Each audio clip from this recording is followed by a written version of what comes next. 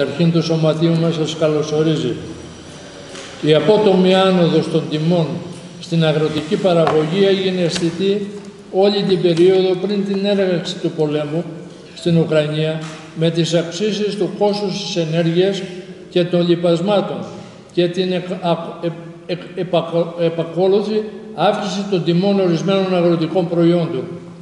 Οι παγκόσμιες τιμές του σταριού και του κρυθαριού αυξήθηκαν κατά 31% κατά τη διάρκεια του 2021. Η τιμή του ηλιελαίου αυξήθηκε περισσότερο από 60% την ίδια περίοδο. Είναι χαρακτηριστικό ότι ο δείκτης των παγκοσμίων τιμών τροφίμων του Οργανισμού Τροφίμων και Γεωργίας του ΟΗΕ, ΦΑΟ, παρουσίασε άνοδο μεγαλύτερη από 50% από τα μέσα του, του, του, του 20 μέχρι το ξέσπασμα του πολέμου.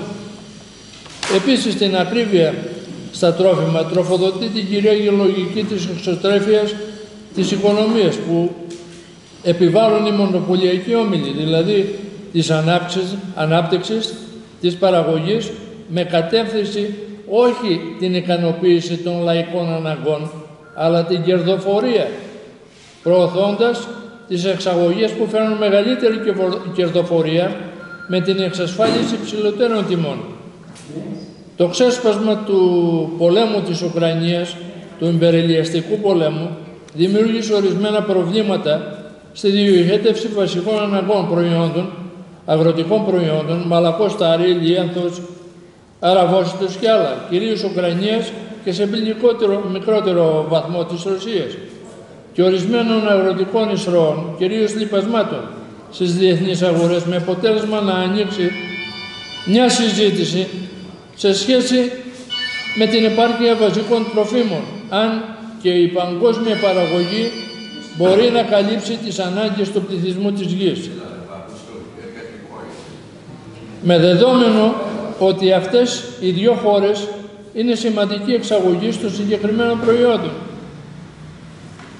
Η Ελλάδα είναι ελληματική σε ορισμένα διατροφικά βασικά προϊόντα, όπως το μαλακό το στάρι, η ζάχαρη, κρέας βόλιο, χοιρινό, γάλα, γαλακτοκομικά προϊόντα αγελάδας, ως αποτέλεσμά της, διαχρονικά εφαρμοζόμενης ΚΑΠ στο πλαίσιο του διεθνοποιημένου μονοπωλιακού ανταγωνισμού, παρά τις παραγωγικές δυνατότητες που διαθέτει, αλλά και το γεγονός ότι παρουσίαζε αυτάρκεια σε ορισμένα από αυτά, όπως το στάρ, τη ζάχαρη, πριν την ενσωμάτωσή της στην ΕΟΚ και στην Ευρωπαϊκή Ένωση παράλληλα, τις τελευταίες δεκαετίες μια σειρά στρατηγικής σημασίας υποδομές, παραδείγματος χάρη βιομηχανία λοιπασμάτων, ζάχαρης κλπ.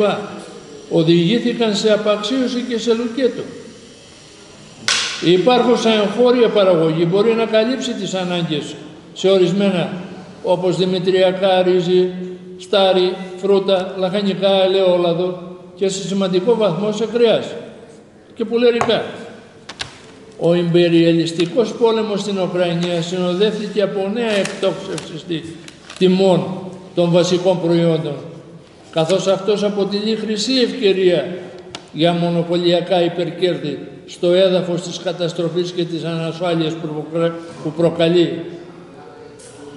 Και ενώ οι συντάξεις μας, το μεροκάματο, μαζί και η υγεία που είναι και παραμένουν στάσιμα, εξανεμίζονται με τεχνητές ελλείψεις παντού και σε όλους τους τομείς. Όχι στις συντάξεις επιζώντων και στα επιδόματα θανάτου. Αυξήσεις, αυξήσεις στους μισθούς, φάρμακα και υγεία δωρεάν και στην ανθρώπινη πλευρά τους. Σχολεία ανοιχτά και όχι συμπιεζόμενα. Μάθηση για ανοιχτά πλέον μυαλά στον άνθρωπο και όχι στην προμελετημένα αναγκαζόμενη μετατόπιση των πληθυσμών της γης. Όχι εκμετάλλευση ανθρώπου από τον ίδιο τον άνθρωπο.